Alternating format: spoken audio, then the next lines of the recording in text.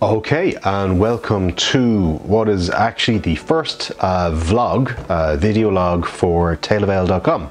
Uh, I'm Reuben Gray. Uh, I've been writing about uh, the beer, uh, mostly in Ireland, but all, all over the world uh, since late 2008. Uh, I figured it's time to give this YouTubing vlogging thing go. So here I am. And what better way to start than with a beer that well, the, uh, what, what, what, they seem to be saying is that it's the first sort of completely 100% trackable uh, beer in the world. It's got this, um, this well, QR code because everybody uses a QR code, and uh, yeah, it's called Downstream. It's a hybrid IPL, uh, which is an India Pale Lager. Ooh, okay, the spiel on the back. It says, Blessed are the curious, for they will have the best kind of adventures. Downstream tells you everything you want to know about the, your beer, its ingredients and brewing methods. Uh, it uses blockchain technology. Uh, so let's see, Block blockchain technology allows us to reveal the authenticity behind the brew. So you know for certain that that what you're drinking doesn't just taste fantastic, but it's real, honest goodness craft beer. Hybrid IPL showcases the best of IPA and lager styles. It is clean from the from the lager yeast, but innovatively hopped and dry hopped with uh, Cryolupulo uh, N2. Uh, it's a registered trademark hop.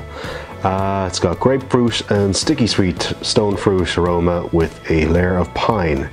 Uh, drink curiously and responsibly. So there we have it. Um, I'm going to have to scan this QR code uh, in a little bit and see what comes up. Uh, but for now, let's see what happens when I open it. bottle didn't explode on me, so that's always a good start.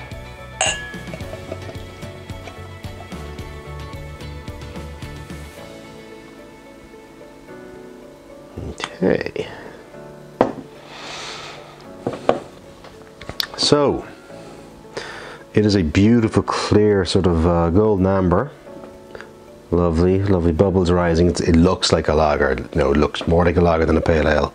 Uh, massive frothy white head coming off it. Uh, oh, do you like my uh, white high glass? Lovely, isn't it? Uh, oh yes. That's lovely and fresh. Uh, yeah, definitely you can get the pine resonance and citrus notes there. Uh, it's a caramel. All right, I'm gonna dig right in here.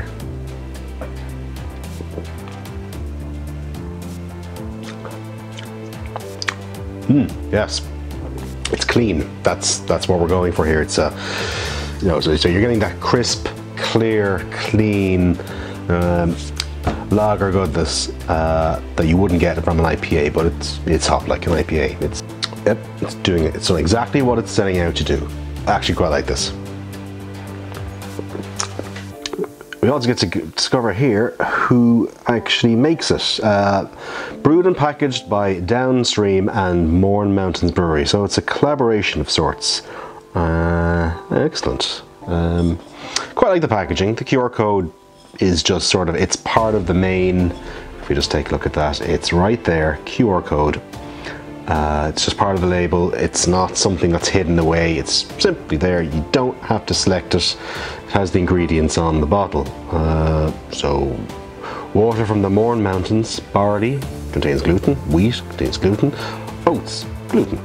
Uh, hops, yeast, and uh, allergen vice is the ingredients, which is what we just read out. So, yeah. Um, anyway, interesting. Hybrid IPL. Oh, it is 4.5% in case you're wondering. Uh, but it's still a delicious, clean beer. Well done, guys. Uh, I suppose we should, uh, you know, actually scan this QR code and see what actually happens. Um, so let's get to. By the way, if anyone's wondering why all of a sudden I decided to start doing some video, uh, well, I suppose there's a number of reasons for that. Um, I've done videos before, uh, you know, brewery visits and, and like, but not very much. To be honest with you, editing a video is a lot, you know, it's a lot more complex and takes a lot longer than, uh, say, writing a blog. You know, I can write a blog anywhere, just as long as I have a keyboard, type, type, type, job done.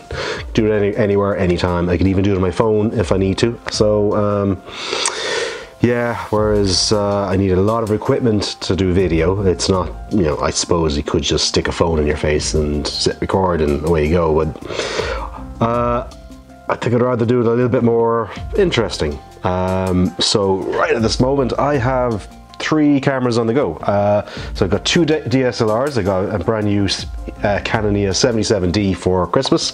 Um, okay, let's be honest with you. I bought it for myself. It's not really for Christmas. I bought it uh, during uh, Black Friday. Uh, yes, Black Friday is now a thing in Ireland for some reason. But anyway, I got the camera for after discounts and Canon rebate, 599 euro. It's normally either side 1,000. So I'm happy with that. Um, I've also got my old Canon um, 700D.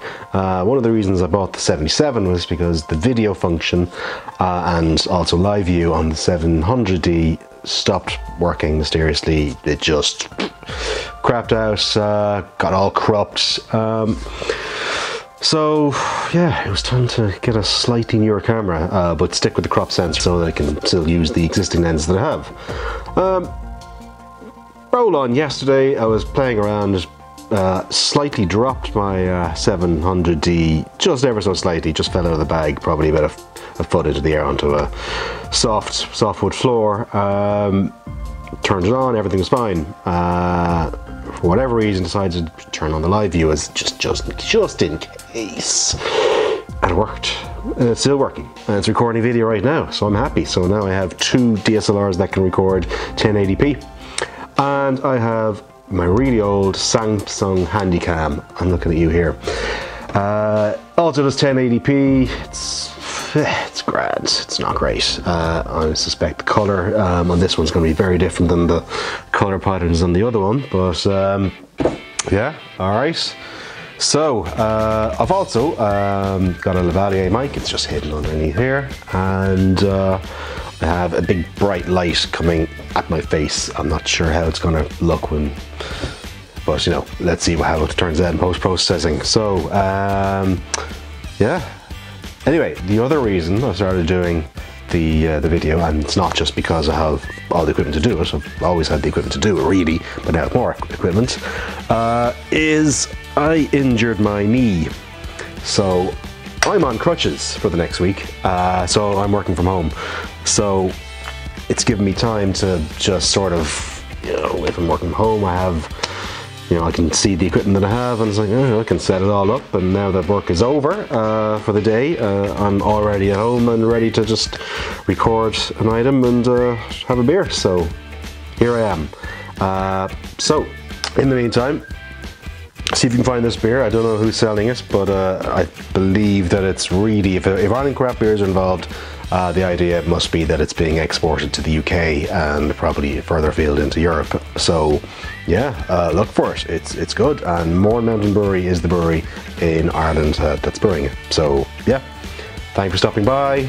Taleofale.com if you want to read a bit more. Uh, and anyway, cheers.